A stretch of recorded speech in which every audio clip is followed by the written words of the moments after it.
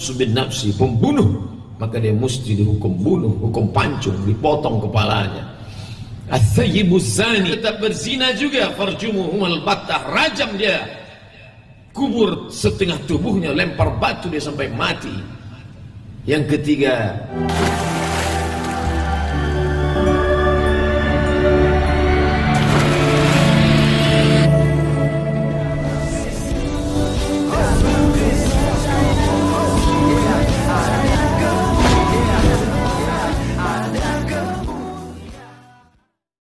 Salam Elechem Bisem Yeshua Hamasiah. Salam sejahtera di dalam nama Tuhan Yesus Kristus untuk kita semua. Teman-teman sekalian, pada video kali ini kita akan menanggapi ceramah Ustadz David Somad yang menurut saya ini uh, sangat mengerikan teman-teman sekalian hukum yang dijabarkannya di dalam imannya. Teman-teman sekalian, uh, ini yang saya suka sebenarnya. Artinya mereka harus sibuk untuk mengurus ajaran agamanya saja tanpa harus mengais-ngais kepada ajaran kekristenan apalagi kalau menyinggung tentang kitab Kristen gitu ya. Teman-teman sekalian kali ini juga dia katakan bahwasanya hukum dalam Islam itu ya halal darahnya apabila dia apa namanya itu melakukan ini melakukan itu gitu ya misalnya berzina harus dirajam dengan batu ya hukum seperti di perjanjian lama teman-teman sekalian makanya kita bersyukur kita sudah beralih dari hukum itu dengan hukum kasih karunia di dalam Kristus Yesus dan juga nanti kita akan dengarkan penjelasan daripada Kiai Haji Buya Sakur yang bertolak belakang dengan apa yang menjadi penjelasan daripada uh, Ustadz Abdul Somad. Nah teman-teman sekalian seperti biasa mari kita simak dulu penjelasan berikut ini. Muslim tidak halal darah seorang muslim kecuali dia melakukan satu di antara yang tiga. Dan nafsu bin nafsi pembunuh maka dia mesti dihukum bunuh hukum pancung dipotong kepalanya. Athayibu zani sudah menikah tapi dia tetap juga berzina. Asyaikhu wa syaikhatu laki-laki perempuan yang sudah menikah. Idza zanaya kalau dia tetap berzina juga farjumuhum batah rajam dia. Kubur setengah tubuhnya lempar batu dia sampai mati yang ketiga, at-tariku lidinihi al-mufariqu jamaah. Orang-orang yang murtad meninggalkan agama ini, maka tidak ada hukuman lain yang layak bagi dia kecuali kematian.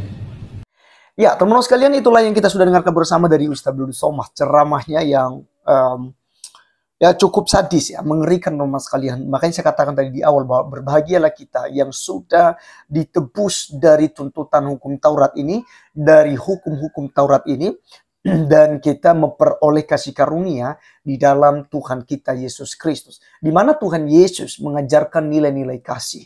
Yang Matius uh, 22 ayat 37 sampai 40 dikatakan bahwa kasihlah Tuhan Allahmu dengan segenap hatimu, dengan segenap jiwamu dan akal budimu Ya itulah hukum yang uh, utama dan yang terutama dan hukum yang sama dengan itu adalah kasihlah sesamamu manusia seperti dirimu sendiri.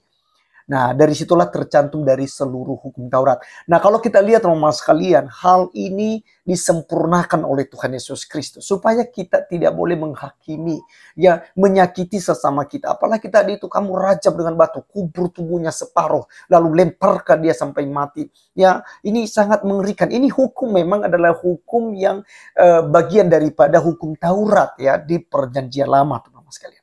Dan kita bersyukur ya Yesus Kristus menebus kita dari semuanya. Justru Yesus mengajarkan kita bahwa kasihilah sesamamu manusia. Matius ya pasalnya yang kelima ayat yang ke-43 sampai 44. Yang berbunyi teman-teman sekalian, kasihilah sesamamu manusia dan bencilah musuhmu. Ayat 44-nya Yesus katakan, aku berkata kepadamu, kasihilah musuhmu, berdoalah bagi mereka yang menganiaya kamu. Ini hal yang luar biasa teman-teman sekalian. Bukan hanya saja mengasihi sama manusia, tapi Yesus melangkah satu lebih unggul dari semuanya. Dia katakan, kasihilah musuhmu. Berdoalah bagi mereka yang menganiaya kamu. Jadi ini hukum yang luar biasa sekali ketika kita berada di dalam Tuhan Yesus. Dan dalam Efesus 2 ayat 15 berkata, Sebab dengan matinya sebagai manusia, ia telah membatalkan hukum Taurat dengan segala perintah dan ketentuannya untuk menciptakan keduanya menjadi satu manusia baru di dalam dirinya. Dan dengan itu mengadakan damai sejahtera. Inilah kehendak Allah, teman-teman sekalian. Dia sangat mengasihi kita. Sehingga kita sehingga dia ya melepaskan kita daripada hukum yang sangat keji, kejam yang ada di dalam hukum Musa itu. Untuk mendibli- mendisipli- mendisiplinkan orang-orang Israel. Teman-teman sekali lagi Anda bersyukur Anda harus bangga karena Anda sudah menjadi orang percaya kepada Tuhan Yesus Kristus. Anda lepas daripada tuntutan hukum Taurat yang mengerikan itu. Dan kita dituntut untuk hidup di dalam kasih karunia Allah. Mari kita teman sekalian dengarkan ya penjelasan daripada Ki Haji Buya Sakur mengenai hal itu. Seperti apa? Saya katakan tadi kontradiksi dengan apa yang dijelaskan oleh Ustaz Abdul Somad. Karena itu tidak relevan di zaman sekarang ini. Apalagi di Indonesia, teman-teman sekalian. Kita dengarkan Kiai Haji Buya Sakur berikut. Pertanyaannya, berganti agama dalam hadis itu dibunuh, sementara dalam Al-Quran tidak ada paksaan. Iya, Bagaimana itu, Bu ya? Ya, ya memang. Memang kalau itulah fikih. Itulah fikih. Syekh Yusuf Al-Qardawi, mufti di Qatar, itu disoal oleh wartawan eh, Al Jazeera. Ya.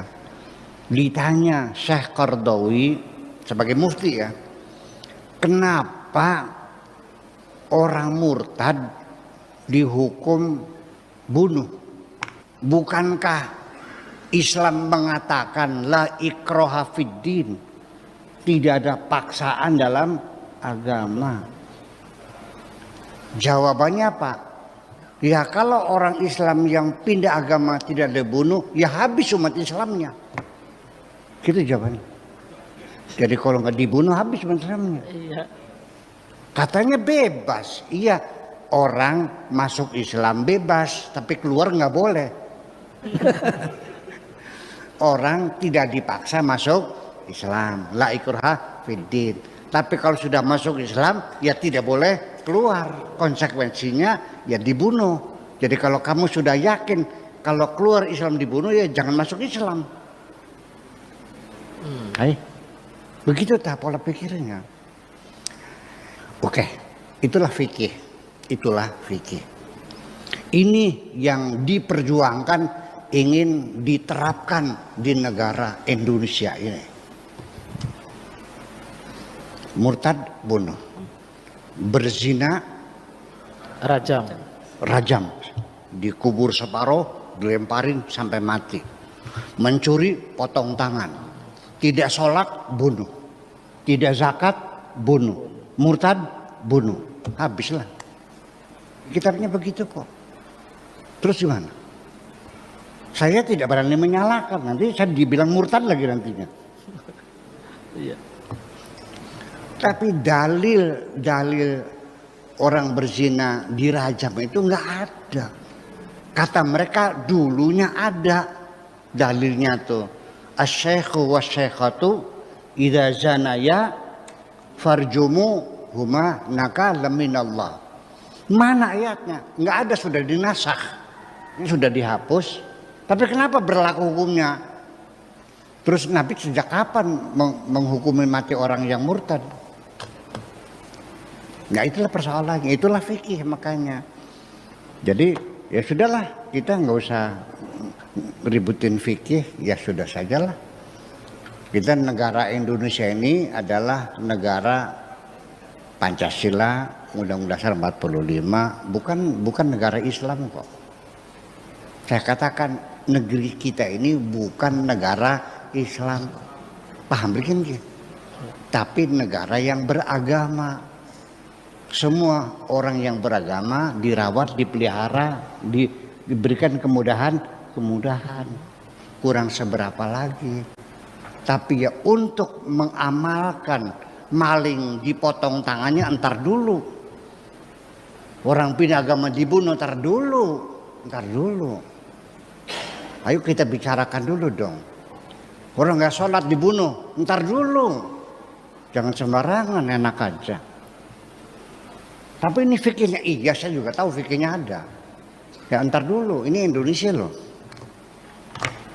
Betul nggak?